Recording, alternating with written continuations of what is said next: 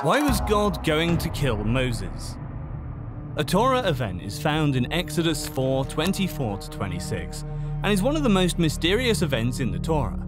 The event, frankly, runs counter to our modern logic. During this time, God came to kill Moses after God commissioned him to lead the Israelites out of Egypt. The Old Testament recognizes Moses as an important figure chosen to save God's people. On the other hand, Abraham, also known as the father of the faithful, received God's unconditional covenant of grace. God specifically chose Moses to lead the Israelites from captivity in Egypt to the Promised Land, where they would find salvation. Additionally, Moses is known as a mediator of the Old Covenant and is often referred to as the one who gave the law. Finally, Moses is the principal author of the Pentateuch, the foundational books of the entire Bible. Moses' role in the Old Testament is a type and shadow of Jesus' role in the New Testament. As such, his life is worth examining. We first encounter Moses in the opening chapters of the book Exodus. Despite being born to a Hebrew slave, he was adopted by the Egyptian royal family. However, he left Egypt and became an outcast. He fled to the desert where God prepared him for the important role he would play in the future. The next major incident in Moses' life was his encounter with God at the burning bush, where God called Moses to be his people's savior. Exodus 3 1 10, Amplified Bible. Now Moses was keeping the flock of Jethro, Reuel, his father in law, the priest of Midian. And he led his flock to the west side of the wilderness and came to the Horeb, Sinai, the mountain of God. The angel of the Lord appeared to him in a blazing flame of fire from the midst of the bush. And he looked, and behold, the bush was on fire yet it was not consumed. So Moses said, I must turn away from the flock and see this great sight, why the bush is not burned up. When the Lord saw that he turned away from the flock to look, God called to him from the midst of the bush and said, Moses, Moses! And he said, Here I am. Then God said, Do not come near. Take your sandals off your feet, out of respect, because the place on which you are standing is holy ground. Then he said, I am the God of your father, the God of Abraham, the God of Isaac, and the God of Jacob. Then Moses hid his face because he was afraid to look at God. The Lord said, I have in fact seen the affliction, suffering, desolation of my people who are in Egypt, and have heard their cry because of their taskmasters, oppressors. For I know their pain and suffering, so I have come down to rescue them from the hand, power of the Egyptians and to bring them up from that land to a land that is good and spacious, to a land flowing with milk and honey, a land of plenty, to the place of the Canaanite, the Hittite, the Amorite, and the Perizzite, the Hivite, and the Jebusite. Now behold, the cry of the children of Israel has come to me, and I have also seen how the Egyptians oppressed them. Therefore come now, and I will send you to Pharaoh, and then bring my people, the children of Israel, out of Egypt. Although Moses was initially hesitant and even asked God to send someone else, he eventually agreed to obey God's command. As a promise, God sent Moses' brother Aaron to accompany him on his journey.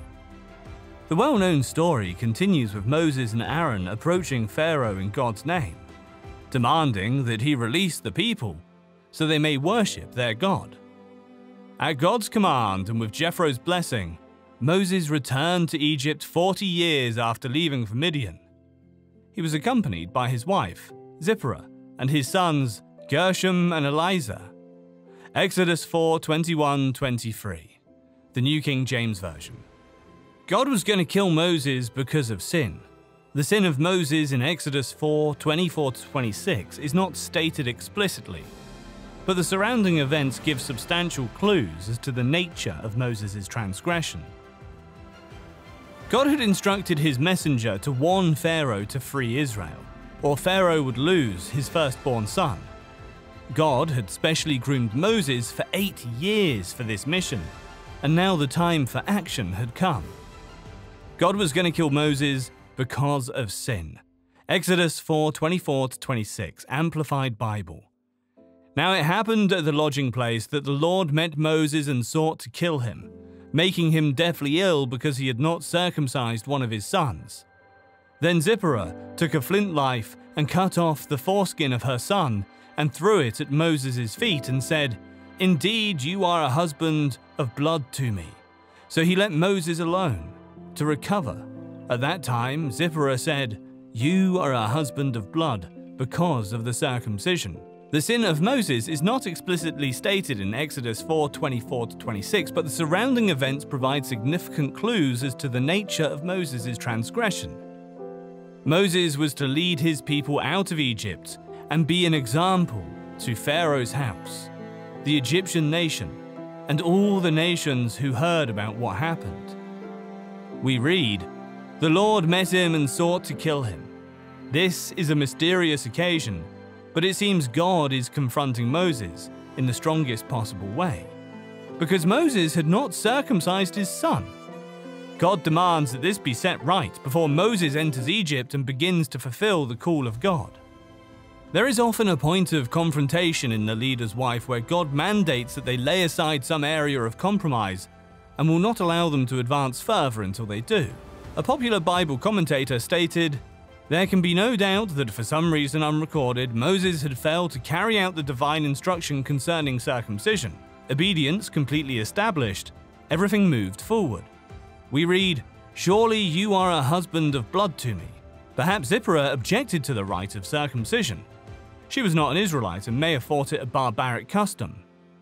Perhaps this was why God held Moses accountable for not doing what was right even though his wife didn't like it, but disabled Moses so that Zipporah had to perform the circumcision.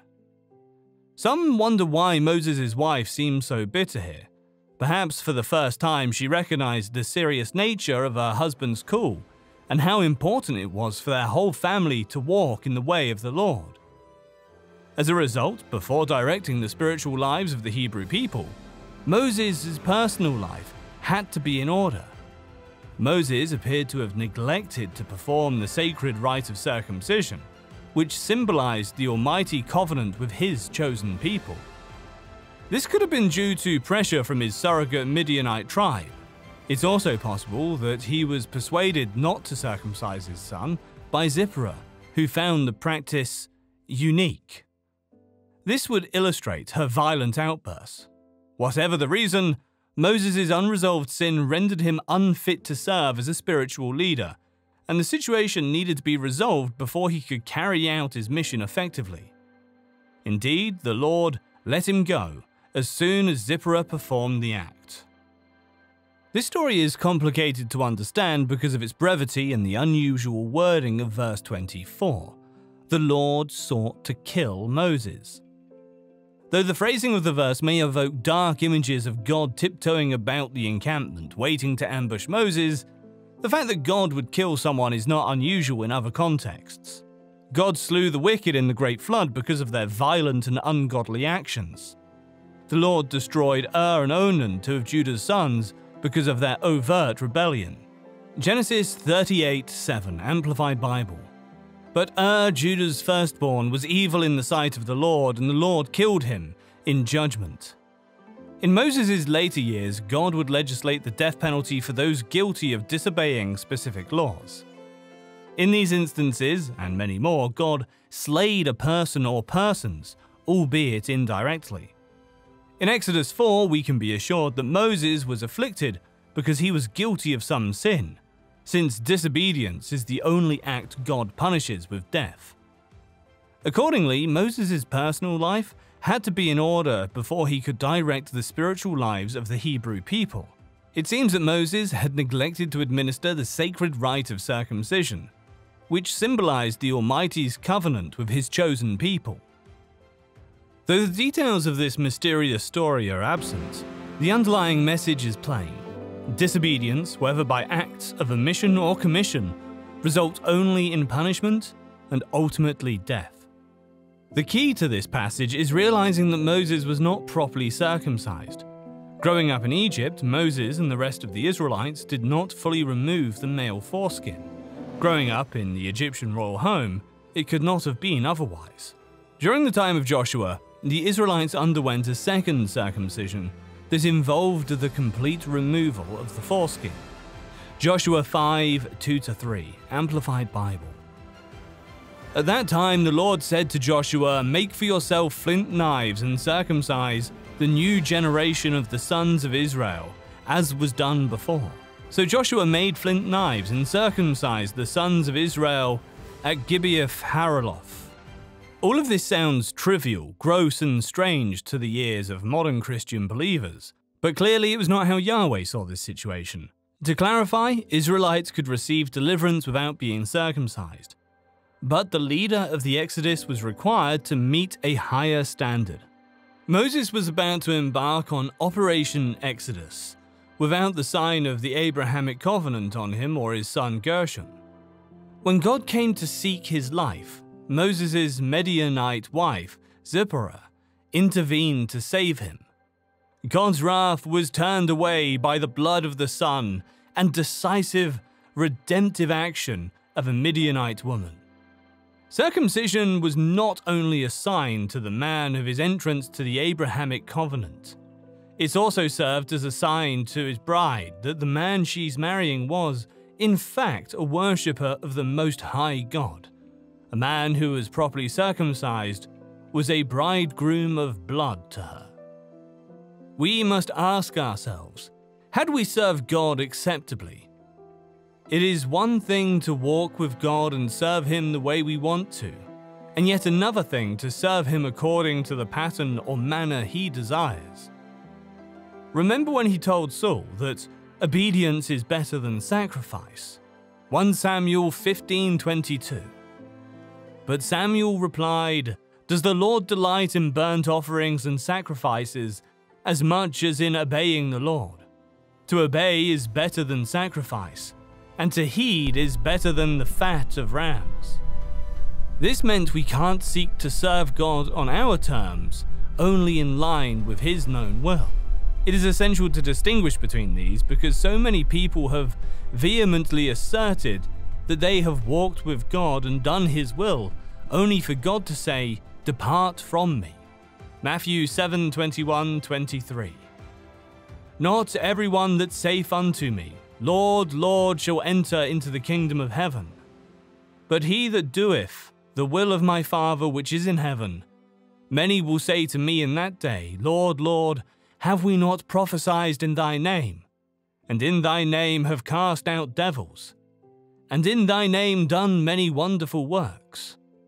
And then I will profess unto them, I never knew you. Depart from me, ye that work in iniquity. So, how do we walk with God and serve Him acceptably? We must genuinely dedicate to God. Dedication speaks of a commitment from the heart that isn't easily disconnected or discouraged.